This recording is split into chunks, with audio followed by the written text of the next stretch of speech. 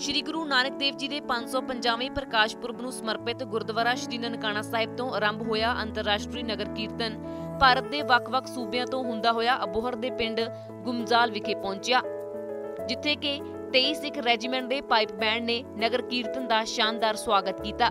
ਦੱਸਦੀਏ ਕਿ ਰਾਜਸਥਾਨ ਦੇ ਸ਼੍ਰੀ ਗੰਗਾਨਗਰ ਤੋਂ ਹੁੰਦਾ ਹੋਇਆ ਕੌਮਾਂਤਰੀ ਨਗਰ ਕੀਰਤਨ ਅਬੋਹਰ ਦੇ ਕਸਬਾ ਖੂਈਆਂ ਸਰਵਰ ਦੇ ਪਿੰਡ ਗੁਮਜ਼ਾਲ ਰਾਹੀਂ ਪੰਜਾਬ 'ਚ ਪ੍ਰਵੇਸ਼ ਹੋਇਆ, ਜਿੱਥੇ ਕਿ ਵੱਡੀ ਗਿਣਤੀ ਦੇ ਵਿੱਚ ਸੰਗਤਾਂ ਦੇ ਵੱਲੋਂ ਇਸ ਅਲੌਕਿਕ ਨਗਰ ਕੀਰਤਨ ਦਾ ਸਵਾਗਤ ਕੀਤਾ ਗਿਆ। ਖਾਲਸਾਈ ਜਾਹੋ ਜਲਾਲ ਨਾਲ ਸਜੇ ਇਸ ਨਗਰ ਕੀਰਤਨ ਦਾ ਅਬੋਹਰ ਪਹੁੰਚਣ ਤੇ ਸਿੱਖ ਸੰਗਤਾਂ ਦੇ ਵੱਲੋਂ ਨਿੱਘਾ ਸਵਾਗਤ ਕੀਤਾ ਗਿਆ। ਪੰਜ ਪਿਆਰਿਆਂ ਦੀ ਰਹਿਨੁਮਾਈ, ਸ੍ਰੀ ਗੁਰੂ ਗ੍ਰੰਥ ਸਾਹਿਬ ਜੀ ਦੀ ਛਤਰਛਾਇਆ ਤੇ ਪੰਜ ਪਿਆਰਿਆਂ ਦੀ ਅਗਵਾਈ 'ਚ ਸਜੇ ਇਸ ਨਗਰ ਕੀਰਤਨ ਦੇ ਦਰਸ਼ਨ ਕਰ ਸੰਗਤਾਂ ਆਪਣੇ ਆਪ ਨੂੰ ਵਡਭਾਗਾ ਮਹਿਸੂਸ ਕਰ ਰਹੀਆਂ ਨੇ। ਨਨਕਾਣਾ ਸਾਹਿਬ ਤੋਂ ਚੱਲ ਕੇ ਜੀ, ਤੇ ਵੱਖ-ਵੱਖ ਸਥਾਨਾਂ ਤੇ ਹੁੰਦਾ ਹੋਇਆ ਵਾਪਸ ਫਿਰ ਜਿਹੜਾ ਆ ਰਿਹਾ ਤੇ ਵਾਪਸ ਨਨਕਾਣਾ ਸਾਹਿਬ ਨੂੰ ਇਹਨੇ ਜਾਣਾ ਹੈ।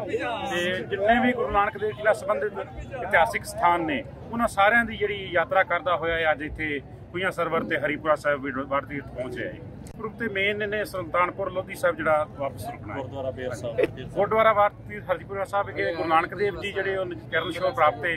ਤੇ ਇਸ ਜਗ੍ਹਾ ਤੇ ਆ ਕੇ ਗੁਰੂ ਨਾਨਕ ਦੇਵ ਜੀ ਨੇ ਕਾਫੀ ਜਿਹੜਾ ਲੋਕ ਮੁਸ਼ਕਲਾਂ ਦੇ ਵਿੱਚ ਸਨ ਉਹਨਾਂ ਦਾ ਉਧਾਰ ਕੀਤਾ ਤੇ ਲੋਕਾਂ ਨੂੰ ਚੰਗੀ ਉਪਦੇਸ਼ ਦਿੱਤੇ।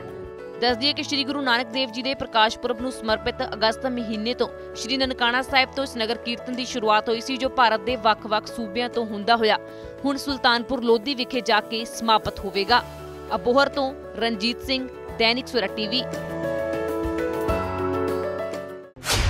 ਪੰਜਾਬ ਦੇ ਚਾਰ ਵਿਧਾਨ ਸਭਾ ਹਲਕਿਆਂ 'ਚ ਹੋਣ ਜਾ ਰਹੀ ਜ਼ਿਮਨੀ ਚੋਣ ਦੀ ਹਰ ਅਪਡੇਟ ਜਾਣਨ ਲਈ ਦੇਖੋ ਹਰ ਸ਼ਾਮ 4 ਵਜੇ ਸਿਆਸੀ ਚਾਰ।